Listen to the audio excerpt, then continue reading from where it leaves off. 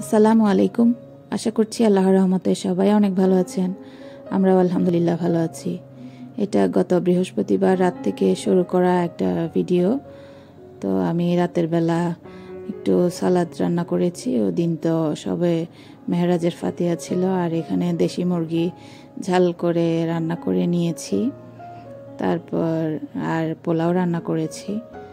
তো ডিম সিদ্ধ করেছি, তারপর আবার ছিল গরু মাংস দিয়ে শিক কাবাব বানিয়েছিলাম। তো ওই দিন রাতের আয়োজন ছিল এগুলোই।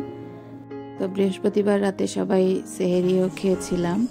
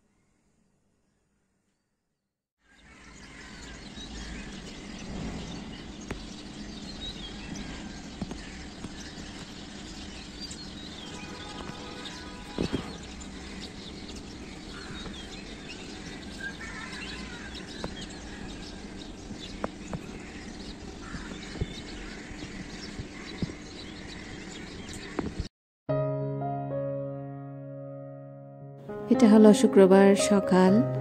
তো আজকে সকাল সকাল অনেকগুলো কাজ করে নিয়েছি। অনেক কাপড় চোপড় জমা হয়েছিল যেহেতু শুক্রবার।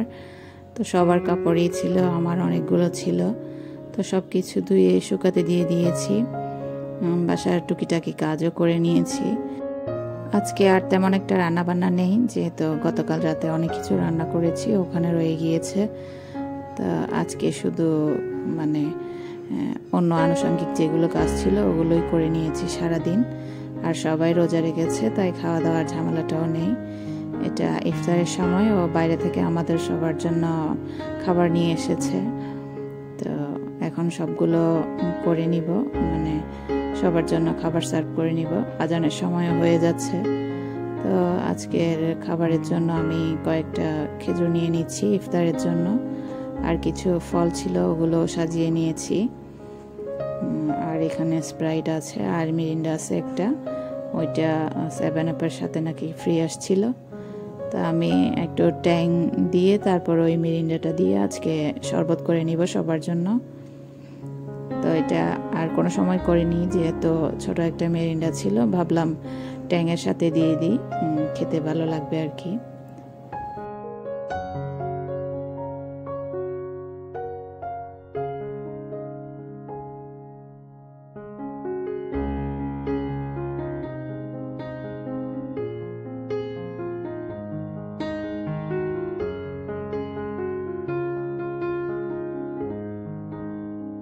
তো শরবতটা গুলিয়ে নিয়েছি। খুব সুন্দর একটা অরেঞ্জ কালার এসেছে। তো এখন সবার জন্য গ্লাসে ঢেলে নিচ্ছি। আমার বাচ্চাদের জন্য, ওরাও রোজা রেখেছে সবাই। তো এখন সব কিছু আর কি ঢেলে নেওয়া হচ্ছে। ইফতারির সময়ও হয়ে যাচ্ছে, একটু তাড়াহুড়াই হয়ে যায়। মনে করি যে একটু মানে সময় পাবো, তখন দেখা যায় যে আজানের সময় খুব তাড়াতাড়ি হয়ে যায় সব কিছুতে তো এখন চিন্তা করতেছি রমজান মাস আগার আসার আগে থেকে মানে সব কিছু একটু আগে আগেই করে রাখতে হবে। এখন সব কিছু আবার প্লেটে ঢেলে নিচ্ছি খাবারগুলো।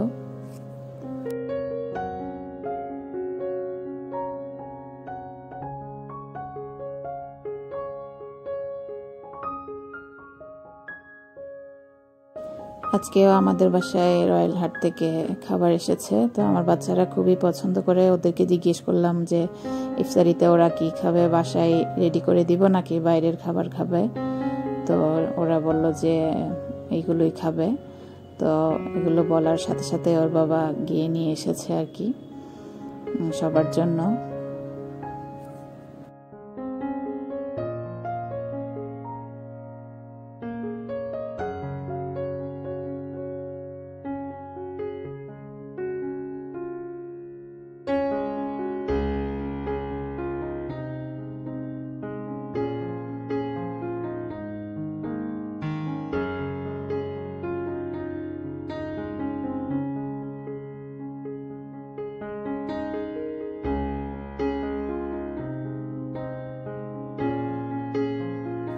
এখানে ছিল চিকেন চাপ আর পরোটা, সাথে একটা রায়তা দিয়ে দেয় ওরা।